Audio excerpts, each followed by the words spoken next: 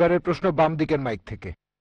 আজ এই অনুষ্ঠানে আসতে পেরে আমার খুবই ভালো লাগছে। আপনার এই মূল্যবান কথাগুলো সবারই কাজে আসবে। আমরা আপনার লেকচার শুনে খুবই মুগ্ধ হয়েছি। অনেকের দৃষ্টিভঙ্গিও বদলেছে। আমার নাম রাম দাস ইলেকশন বোর্ডের পার্সেস অফিসার আমি একজন হিন্দু তারপরও আমি ইসলাম ধর্মকে অনেক শ্রদ্ধা আর ভালোবাসি। আমি আপনার কথার সাথে একমত যে, হিন্দু ধর্ম কখনোই মূর্তি পূজার কথা বলে না। আসলে আমাদের হিন্দু ধর্মকে সবসময় প্রভাবিত করেছে তথাকথিত ধর্মীয় নেতারা। তারা তারা মানুষকে ভুল পথে নিয়ে যাচ্ছে। শতকরা নব্বই ভাগ হিন্দু ভুল পথে চলে যাচ্ছে মূর্তি পূজার নামে। বেদ আর উপনিষদ কখনই মূর্তি পূজার কথা বলে না। যেটা বলা হয়েছে সেটা রু। রু, এটা কথা বলা হয়েছে, রু খোদা কি ইনায়েতে হ্যায়?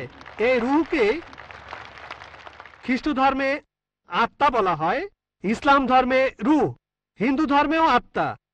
এটা খুবই দুর্ভাগ্য যে সব ধর্মের তথাকথিত ধর্মীয় নেতারাই এতে কোনো রকমের সন্দেহ নেই হোক সে মুসলিম খ্রিস্টান বা হিন্দু। এতে কোনো রকমের সন্দেহ নেই পৃথিবীর সে সব মানুষকে ভুল পথে পরিচালিত করেছে। আপনার কাছে আমার প্রশ্ন আপনি একজন যথেষ্ট জ্ঞানী মানুষ। আমার আগে এক ভদ্রলোক প্রশ্ন করেছিলেন তিনি ঠিকই বলেছিলেন ইসলামের অতীত খুব গৌরবের।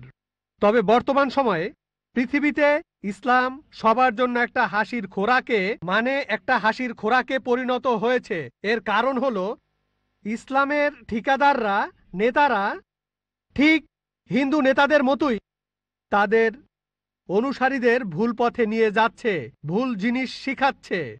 কোনো হিন্দু ভাই যদি কোনো মুসলিমকে রক্ত দেয়, সে হয়তো বেঁচে যাবে। যদি কোনো হিন্দু কোনো একজন মুসলিমকে রক্ত দেয়, তাহলে তার জীবন বাঁচল। এখানে এটা কি হতে পারে? যেহেতু হিন্দু রক্ত নিয়েছে, তাই সে হিন্দু হয়ে যাবে? এটা আমার প্রথম প্রশ্ন। প্লিজ, আরেকটু সময় দিন। আমার আরেকটা প্রশ্ন আছে। এখানে ধরেন যার জীবন বাঁচল, সে তো দোয়া করবে, আসো বাবা, আসো, আমার জীবন বাঁচিয়েছ। রক্তের বিভিন্ন গ্রুপ আছে, এ পজিটিভ, বি পজিটিভ। এখানে তো জীবন বাঁচানোর প্রশ্ন। এখানে কি ধর্মের গুরুত্বটা বেশি? এটাই প্রথম প্রশ্ন। আর এখানকার লোকজন আত্মাকে চিনতে চায় না। বস্তুর চাহিদা মিটলেই তারা খুশি। ইসলাম সবাইকে ভালোবাসার কথা বলে, সব ধর্মই ভালোবাসার কথা বলে, কিন্তু ইসলাম ধর্ম সেই ভালোবাসা অর্জনের কথা বলে, কীভাবে ভালোবাসা অর্জন করতে হবে? এই জন্য ইসলামে জাকাত আছে। এই জাকাত গরিব মানুষদের সাহায্য করা, প্রতিবেশীকে সাহায্য করা গরিবের মেয়ে বিয়ে হচ্ছে না, বিয়ে দিয়ে দাও, গরিবকে সাহায্য করা। অন্য কোনো ধর্ম ইসলামের মতো এত মহান নয়। এটা খুবই মহান ধর্ম, দুর্ভাগ্যের কথা, বাস্তব এর কোনো প্রয়োগ হচ্ছে না। তাই আগের ভদ্রলোক বললেন, মাদ্রাসাগুলো স্বচ্ছ হওয়া উচিত। সত্যি বলতে আপনারা ধর্মীয় নেতাদের বোকামির কারণে ইসলাম ধর্ম উপরে উঠছে না, বরঞ্চ বরবাদ হয়ে যাচ্ছে। খ্রিস্টান ধর্ম, তারা পৃথিবীতে রাজত্ব করতে চায়, তারা ইসলামের ক্ষতি করতে চায়। ইসলামের প্রতি খ্রিস্টানদের মনোভাব বিরূপ, হিন্দু ধর্ম তারা এখানে ঠিক থাকতে চায়। স্বাভাবিক, তাহলে এরাই হলো ধর্মীয় নেতা। তারা জানে না রু কি রু হলো আল্লাহর দয়া। উপনিষদে আছে, ইসলামে আছে, বাইবেলে আছে। আর সব ধর্মই বলে ভালোবাসা। ইসলামও বলে, এটাই আমার প্রথম প্রশ্ন। দ্বিতীয় প্রশ্নটা হলো, হিন্দু ধর্ম নারীকে খারাপ চোখে দেখে, ইসলামও খারাপ চোখে দেখে, খ্রিস্টান ধর্ম। পৃথিবীতে নারী না থাকলে, আপনি একটু আগে একজনকে বললেন যে পুরুষ লোক বাচ্চা জন্ম দিতে পারে না। হ্যাঁ পুরুষ লোক কোনো বাচ্চা জন্ম দিতে পারে না। বাচ্চার জন্ম দেন মা, একজন নারী। তাহলে ব্যাপারটা কি দাঁড়াচ্ছে? যে পুরুষকে জন্ম দিচ্ছে একজন নারী, সেই পুরুষই নারীকে ছোট করছে। সে হোক হিন্দু, খ্রিস্টান বা মুসলিম। এভাবে দেখবেন যে সব ধর্মেই একই রকম অবস্থা চলছে। আমরা সবাই সব ধর্মই এখন ধ্বংসের পথে যাচ্ছে। নারীকে কোনো ধর্মই সম্মানের চোখে দেখা হয় না।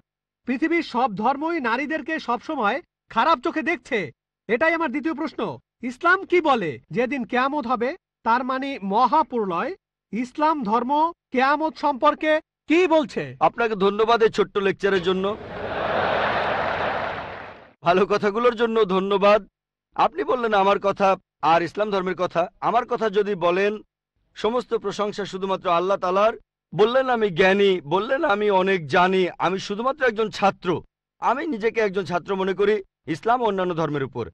আপনি দুটো প্রশ্ন করলেন, প্রথমটা রুহ নিয়ে, তারপর নারী নিয়ে। এছাড়াও আপনি বেশ কিছু মন্তব্য করেছেন। আপনি বললেন, তথাকথিত ধর্মীয় নেতারাই সমস্যা তৈরি করছে। বেশিরভাগ ব্যাপারে আমি একমত। এছাড়াও আপনি মন্তব্য করলেন যে, ইসলামের বদনাম করা হচ্ছে। ইসলামের ধর্মীয় নেতাদের কারণে এটা হচ্ছে। ইসলামের বদনাম ছড়াচ্ছে এদের কারণেই। অন্যান্য ধর্মের ধর্মীয় নেতাদের কথা যদি বলি, তারা তাদের অনুসারীদের ধর্মগ্রন্থ পড়তে দিতে চায় না। এখন আমি যদি ইসলামের কথা বলি সামগ্রিকভাবে, আমি ইসলামের ধর্মীয় নেতাদের উপরে দোষ চাপাবো না, তারা দোষী নয়। সামান্য কিছু কুলাঙ্গার থাকতে পারে, খুবই সামান্য। হাতে কোনো কয়েকজন এমন নেতা থাকতে পারে, যারা ভুল পথে নিচ্ছে, কিন্তু এরা সংখ্যায় অনেক কম। মিডিয়া তাদের বেছে নেয় আর এমনভাবে তুলে ধরে যেন ইসলামের প্রত্যেক ধর্মীয় নেতাই এইরকম। তাই ইসলাম ধর্মের বিভিন্ন নেতা, বিশেষজ্ঞ, ওলামার কথা যদি বলতে হয়, তাদের ভালোবাসি, তাদের শ্রদ্ধা করি। হাতে গোনা কয়েকজন খুবই সামান্য তারা। এরাই মানুষকে ভুল পথে নিয়ে যায়, তবে সামগ্রিকভাবে সামগ্রিকভাবে আলহামদুলিল্লাহ, তারা সব ভালো কথা বলেন, তারা ইসলামের কথা বলেন, আমরা তাদের ভালোবাসি, শ্রদ্ধা করি, অন্য ধর্মের ছবিটা আলাদা। পৃথিবীর বেশিরভাগ ধর্মীয় নেতারা, অন্য ধর্মের নেতারা, তারা এটা করে না, তারা তাদের অনুসারীদের ধর্মগ্রন্থ পড়তে দিতে চায় না। যেমন আপনি বললেন, হিন্দু ধর্ম মূর্তি পূজা করতে নিষেধ করে, কিন্তু নব্বই পার্সেন্ট হিন্দুই মূর্তি পূজা করে কারণ এরা চায় না যে অনুসারীরা তাদের ধর্মগ্রন্থটা পড়ুক। আপনার প্রশ্নতে আসি। বললেন যে, কোন হিন্দু এক মুসলিমকে রক্ত দিল, সেই মুসলিমের জীবন বাঁচলো, জীবন বাঁচানোটাই বড় কথা। এখানে সমস্যা কি? সেই মুসলিম কি হিন্দু হয়ে যায়? হিন্দুকে কোনো মুসলিম রক্ত দিলে সেই হিন্দু কি মুসলিম হয়ে যায়? আল্লাহ পবিত্রকরণে বলেছেন, সুরা মাইদার বত্রিশ নম্বর আয়াতে উল্লেখ করা হয়েছে, যদি কেউ কোনো মানুষের জীবন বাঁচায়, যদি কোনো লোক হোক সে মুসলিম বা অমুসলিম, অন্য কোনো মানুষের জীবন বাঁচায়, হোক মুসলিম বা অমুসলিম, তাহলে সে যেন পুরো মানুষ জাতিকে বাঁচালো। তাহলে যদি কোনো মানুষ অন্য কাউকে রক্ত দেয় আর তার জীবন বাঁচায়, মুসলিম হিন্দুকে রক্ত দিক বা হিন্দু মুসলিমকে রক্ত দিক, সে যেন পুরো মানুষ জাতিকেই বাঁচালো। তা আরও বলছে, যদি কেউ কোনো মানুষকে হত্যা করে আর সেটা হত্যার অপরাধ বা বিশৃঙ্খলা তৈরির অপরাধ না হয়, তাহলে সে যেন পুরো মানুষ জাতিকেই হত্যা করল। তবে কোনো মানুষের জীবন বাঁচানো ভালো কথা, একটা ভালো কাজ, উঁচু মানের কাজ, কিন্তু আগে একজন প্রশ্ন করেছিলেন, আল্লাহ কেন আমাদের সৃষ্টি করেছেন? আমি আগেও বলেছি যে পবিত্রকরণের সুরা মুলকে দুই নম্বর আয়াতে উল্লেখ করা হয়েছে, আল্লাহ জি খালাকাল মাউতাওয়াল হায়াতা। আল্লাহ সৃষ্টি করেছেন জীবন ও মৃত্যু তোমাদের পরীক্ষা করার জন্য। কারও জীবন বাঁচানো খুবই ভালো কাজ, কিন্তু কারও আখিরাত বাঁচানো সেটা আরও ভালো কাজ। আর সেজন্যই আমি, আর সেজন্যই আমি আগে ডাক্তার ছিলাম। এটাই হলো শ্রেষ্ঠ পেশা, মানুষের জীবন বাঁচানো। আমি ডাক্তার হতে চেয়েছিলাম, কারণ ভেবেছিলাম এটা মহান পেশা, আসলেও তাই। তবে এর চাইতেও ভালো আছে পবিত্র গ্রন্থের সুরা ফুসিলাতের তেত্রিশ নম্বর আয়াতে উল্লেখ করা হয়েছে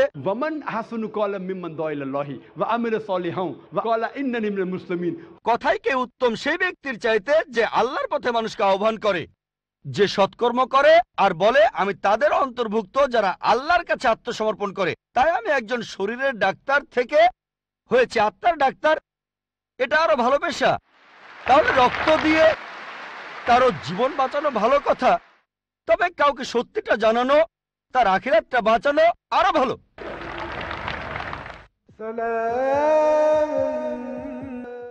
আমার কাজ হলো সব মানুষের কাছে ধর্ম প্রচার করা। মুসলিমদের বলি কোরআন মেনে চলুন, অনুসরণ করুন, আর শেষ নবীকে মেনে চলুন। আমি বলি হিন্দু, খ্রিস্টান, বৌদ্ধদের যেটা কমন অন্তত সেটা মেনে নেন।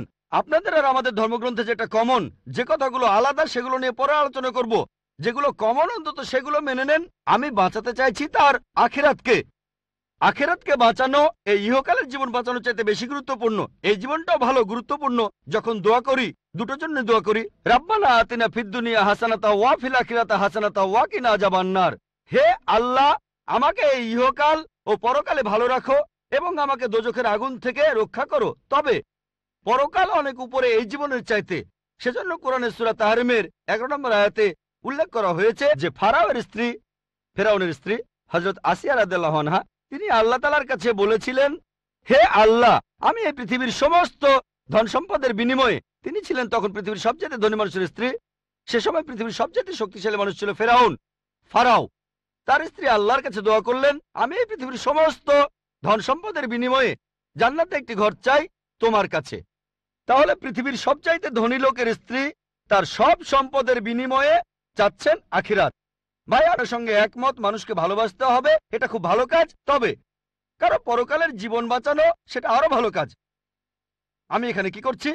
মানুষকে বলছি, সাদৃশ্যগুলো দেখেন। যেগুলো কমন সেই জিনিসগুলো অন্তত মেনে চলেন। যেগুলো আলাদা, সেগুলো বাদ দেন। যেটা কমন সেটা অন্তত মেনে চলেন। যে মূর্তি পূজা করা যাবে না, আল্লাহ কেবলমাত্র একজন অন্তিম ঋষিকে মানতে হবে, তাহলে আমরা এক হব। নাম দিয়ে কেউ কখনো মুসলিম হয় না। আবদুল্লাহ জাকির সুলতান মুসলিম মানে যে আল্লাহর কাছে নিজের ইচ্ছাকে সমর্পণ করে। আগে এক বোনকে আমি বলেছিলাম, আল্লাহর কাছে আত্মসমর্পণ করুন, এখন আপনাকেও বলছি, আল্লাহর কাছে আত্মসমর্পণ করুন। আর আল্লাহর ওহি এই লাস্ট টেস্টামেন্ট খ্রিস্টানরা বলে ওল্ড টেস্টামেন্ট আর নিউ টেস্টামেন্ট এটা হলো আল্লাহ তালার লাস্ট টেস্টামেন্ট পবিত্র কোরআন। এটার কথা আপনাদের ধর্মগ্রন্থ আছে, সেটা আপনাদের মানতে হবে, এটা বাইবেলও আছে, সেটা মেনে চলতে হবে। আমি অনুরোধ করব, আসেন আমরা সবাই মিলে, মিলেমিশে থাকি সবাই একসাথে থাকি আর আল্লাহ তালার কাছে আত্মসমর্পণ করি। মানুষ সাধারণত লেভেল জিনিসটা পছন্দ করে না। জানো লেভেলটা গুরুত্বপূর্ণ নয়। পবিত্র করণে সুরা ইমরানের উনিশ নম্বর আয়াতে উল্লেখ করা হয়েছে ইন্নাদ্দিন ইন্দাল্লাহিল ইসলাম। আল্লাহ তালার কাছে একমাত্র যে ধর্মটা গ্রহণযোগ্য, সেটা আল্লাহর কাছে আত্মসমর্পণ করা। যদি আল্লাহর কাছে নিজের ইচ্ছাকে সমর্পণ করেন, আপনার আখেরাত পরকালের জীবনটা বেঁচে যাবে। এবারে আপনার দ্বিতীয় প্রশ্নে আসি। নারীদের কথা বললেন। যে সব ধর্ম নারীদের খারাপ চোখে দেখে, সব ধর্মই খ্রিস্টান ধর্ম, হিন্দু ধর্ম। ইসলামের কথাও বললেন, সবাই খারাপ চোখে দেখে, খ্রিস্টানরা খারাপ চোখে দেখে, হিন্দুরা খারাপ চোখে দেখে, মুসলিমরাও খারাপ চোখে দেখে। মুসলিম মানে যে আল্লাহর কাছে নিজের ইচ্ছাকে সমর্পণ করে, আর সত্যিকারের মুসলিম কোনো নারীর দিকে কখনো খারাপ দৃষ্টিতে তাকাবে না। যদি কেউ করে, সে মুসলিম নয়। আল্লাহ পবিত্রকরণে বলেছেন, সুরা নূরের তিরিশ আয়াতে উল্লেখ করা হয়েছে মানুষ শুধু নারীর হিজাবের কথা বলে, আল্লাহ তালা পবিত্রকরণে প্রথমে বলেছেন পুরুষের হিজাবের কথা। মুমিন পুরুষদের বলো, তারা যেন দৃষ্টি সংযত আর লজ্জাস্থান হেফাজত করে। যখন কোনো পুরুষ কোনো নারীর দিকে তাকাবে, তখন তার মনে, সেই পুরুষের মনে কোনো খারাপ চিন্তা আসলে সে দৃষ্টি নিচু করবে। আপনাদের বেদেও কথা আছে। যদি আপনি ঋগ্বেদ পড়েন, আট নম্বর গ্রন্থ, তেত্রিশ নম্বর অনুচ্ছেদের, উনিশ নম্বর মন্ত্র, ব্রাহ্ম তোমাদের নারী বানিয়েছেন, সুতরাং দৃষ্টি নিচু করো আর মাথার উপরে কাপড় দাও। হিন্দু ধর্মগ্রন্থ নারীদের শ্রদ্ধা করে, তবে সেই ধর্মগ্রন্থে এমন কথাও আছে, যেগুলো নারীদের ছোট করেছে, সেগুলো বলতে চায় না। যদি মনুস্মৃতি পড়েন, সেখানে নারীদের বিরুদ্ধে অনেক কথা আছে, সেগুলো আমি এখানে বলতে চাই না। কারণ আমি চাই না কেউ বলুক, ডক্টর জাকির নায়ক হিন্দু ধর্মের সমালোচনা করছেন। পবিত্র বাইবেলেও নারীদের সম্পর্কে ভালো কথা আছে, আবার খারাপ কথাও আছে। ভালো কথাগুলো এখানে বলতে পারি, খারাপ কথাগুলো বলতে চাচ্ছি না। আমি চ্যালেঞ্জ করছি, কেউ আমাকে পবিত্র পবিত্রকরণের এমন একটা কথা দেখান, যেটা নারীদের বিরুদ্ধে বলেছে। নারীদের বিরুদ্ধে। একটা সহি হাদিস দেখান যেটা নারীদের বিরুদ্ধে বলেছে। হ্যাঁ প্রত্যেক সম্প্রদায়ে কিছু কুলাঙ্গার দেখতে পাবেন। এমন কিছু মুসলিম হয়তো আছে যারা শুধু নামেই মুসলিম। তারা মেয়েদের দিকে তাকাতে পারে, মেয়েদের উত্তক্ত করতে পারে। তবে তারা সত্যিকারের মুসলিম নয়। আপনি বললেন যে ইসলাম আর মুসলিমরা মেয়েদের খারাপ চোখে দেখে। যদি এই কথাটা বলে থাকেন, ভুল বলেছেন। যদি হিন্দু ধর্মগ্রন্থের সেই কথাগুলোর উদ্ধৃতি দিয়ে বলেন যে হিন্দু ধর্ম নারীদের বিরুদ্ধে কথা বলে আমি বিভিন্ন ধর্মের উপর একজন ছাত্র হিসেবে কথাটা মেনে নেব যে হ্যাঁ আপনি মনুস্মৃতির সেই অনুচ্ছেদগুলোর কথা বলছেন, যেগুলো নারীদের বিরুদ্ধে বলে। যদি বাইবেলে নারীদের বিরুদ্ধে বলা কথাগুলোর উদ্ধৃতি দেন হ্যাঁ সেগুলো তো বাইবেলে লেখা আছে। তবে আমি চ্যালেঞ্জ করছি পবিত্রকরণে এমন মাত্র একটা আয়াত দেখান, যেখানে নারীদের বিরুদ্ধে কথা বলে। এমন মাত্র একটা সহি হাদিস দেখান, আমাদের নবীজি সাল্লাহ মাত্র একটা কথা দেখান, যেটা নারীদের বিরুদ্ধে বলেছে। সত্যি বলতে, মোহাম্মদ সাল্লাহ সাল্লাম হলেন পৃথিবীর প্রথম মানুষ যিনি নারীদের উপরে তুলেছেন। আর তাদের সমান অধিকার দিয়েছেন। আমি একটা লেকচার দিয়েছিলাম ইসলামী নারীর অধিকার। এছাড়াও আরেকটা লেকচার ইসলাম এবং অন্যান্য ধর্মের নারীর অধিকার আমি সেখানে দেখিয়েছি। তাই আপনি যখন বললেন ইসলাম নারীদের অসম্মান করে কথাটা ঠিক নয় তবে আমি ইসলাম সম্পর্কে কথা বলিনি। ইসলাম সবসময় নারীদেরকে মর্যাদা দিয়েছে। মুসলিমরা এই কাজটা করেছে যে তারা মুসলিমরা এই কাজ করছে। আর হিন্দু বা খ্রিস্টান এরাও নারীদের ছোট চোখে দেখে। ইসলাম কখনো এটা ধন্যবাদ। আপনাকে অনেক ধন্যবাদ ভাই। আপনাকে অনেক ধন্যবাদ। আমি একথাই বলেছি তবে মুসলিমরা দুর্ভাগ্যজনকভাবে ইসলামের অনুসারীরা এই জিনিসটা প্রয়োগ করে না। হ্যাঁ ভাই আমি আপনার সঙ্গে একমত। আমি বলেছিলাম কিছু লোক এমন এখন ধরেন মার্সিডিজ গাড়ি কত ভালো এটা জানার জন্য যদি ড্রাইভারের সিটে কোনো আনারি লোককে বসান আর সেই ড্রাইভার যদি গাড়িটা অ্যাক্সিডেন্ট করে কাকে দোষ দেবেন? গাড়ি না ড্রাইভারকে? ড্রাইভারকে দোষ দেবেন? মার্সিডিজ গাড়ি কত ভালো এটা জানতে যদি চান চেক করেন। সেখানে কি কি আছে? অ্যাভারেজ স্পিড কেমন? পিক কেমন? গিয়ার রেশিও কেমন? নিরাপত্তা ব্যবস্থাগুলো কি কি? তাহলে ইসলামকে বিচার করতে চাইলে পবিত্র কোরআন আর সহি হাদিস পড়েন। মুসলিমদের দেখবেন না, যদি গাড়িটা পরীক্ষা করতে চান, তাহলে আপনি ড্রাইভারের সিটে পাকা ড্রাইভারকে বসান। শ্রেষ্ঠ মুসলিমের দৃষ্টান্ত নবীজি সাল্লাম। খ্রিস্টান ধর্মে পবিত্র বাইবেলে আছে বুক অব জেনেসিস তৃতীয় অধ্যায়ের ষোলো অনুচ্ছেদে মহান ঈশ্বর বলেছেন, তোমরা নারী, তোমরা খুব যন্ত্রণা পেয়ে সন্তানের জন্ম দেবে। এটা নারীদের প্রতি ঈশ্বরের অভিশাপ, গর্ভধারণ নারীদের জন্য শাস্তি, ইসলাম ধর্মে গর্ভধারণ নারীদের জন্য সম্মানের পবিত্রকরণে সুরানিসার এক নম্বর আয়াতে উল্লেখ করা হয়েছে। গর্ভধারিণী মাকে সম্মান করো। পবিত্রকরণে লুকমানের চোদ্দ নম্বর আয়াতে উল্লেখ করা হয়েছে, আমি মানুষকে তাদের বাবা মায়ের সাথে ভালো ব্যবহার করার নির্দেশ দিয়েছি। মা অনেক কষ্ট সহ্য করে সন্তানকে গর্ভধারণ করেন, অনেক কষ্ট পেয়ে সন্তানের জন্ম দেন। নবীজি বলেছেন, যদি তোমরা তোমাদের মাকে সোনার পাহাড়ও এনে দাও, তোমাকে যে নয় মাস গর্ভে ধারণ করেছিলেন তার বিনিময়ে তারপরও শোধ হবে না। ইসলাম এই কথাই বলছে। এখন নবীজি সাল্লাহামের কাছে একজন লোক আসলো আর প্রশ্ন করল, এটা আছে সহি বুখারি, আট নম্বর খণ্ড, বুক অব আদাব, দুই নম্বর অধ্যায়, দুই নম্বর হাদিস। হে নবী, এই পৃথিবীতে কাকে সবচাইতে বেশি সম্মান দেখাবো? নবীজি বললেন, তোমার মা। লোকটা বলল, এরপরে কাকে দেখাবো? নবীজি বললেন, তোমার মা। লোকটা বলল, তারপরে কাকে দেখাবো? নবীজি আবারও বললেন, তোমার মা। লোকটা বলল, এরপরে কাকে? তখন নবীজি বললেন, তোমার বাবা। তার মানে পঁচাত্তর পার্সেন্ট চার ভাগের তিন ভাগ পাচ্ছেন মা, এক ভাগ পঁচিশ পার্সেন্ট সেটা পাচ্ছেন বাবা। এক কথায়, মা গোল্ড মেডেল পাচ্ছেন সিলভার মেডেল পাচ্ছেন ব্রোঞ্জ মেডেলটাও পাচ্ছেন, আর বাবা একটা সান্ত্বনা পুরস্কার নিয়ে সন্তুষ্ট থাকছেন। ইসলাম আমাদের এমনটাই শেখায়, তবে আপনার কথা মানি, পশ্চিমা বিশ্ব নারীদের ছোট করছে। পশ্চিমা বিশ্ব নারীদের স্বাধীনতার কথা বলে, আসলে তারা স্বাধীনতার কথা বলে, নারীদের শারীরিক অত্যাচার করে, তাদের সম্মান কেড়ে নেয়, আত্মার অবমাননা করে। পশ্চিমা বিশ্ব বলে তারা নারীদের উঁচুতে বসিয়েছে, আসলে নিচে নামিয়েছে।